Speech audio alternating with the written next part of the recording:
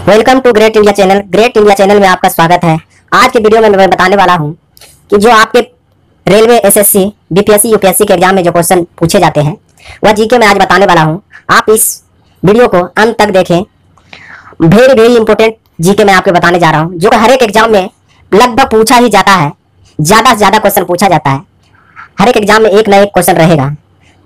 भारत में राष्ट्रपति सर्वोच्च न्यायालय के अन्य न्यायाधीश की नियुक्ति में किसकी सलाह से करता है? सर्वोच्च न्यायालय के मुख्य न्यायाधीश के। प्राकृतिक समिति में कितने सदस्य होते हैं? प्राकृतिक समिति में तीस सदस्य होते हैं। इनमें से कौन भारत के संविधान के व्याख्याकार और संरक्षक है? तो यह है सर्वोच्च न्यायालय। निम्न में किसके लिए मुख्य लेखाकार तथा लेखा परीक्षक का काम भारत का नियंत्रक एवं महालेखा परीक्षक करता है? यह है संघ एवं राज्य सरकार।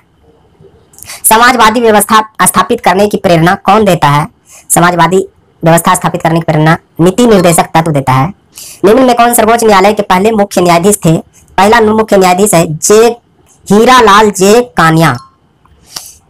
निम्न में नीचे दिए गए अनुच्छेद में संविधान के किस अनुच्छेद के तहत भारत के नियंत्रक एवं महालेखा परीक्षक की नियुक्ति की जाती है? तो अनुच्छेद है 148 148 नीचे दिए गए अनुच्छेद में संविधान के किस अनुच्छेद के तहत भारत के नियंत्रक एवं महालेखा परीक्षक की नियुक्ति करता है?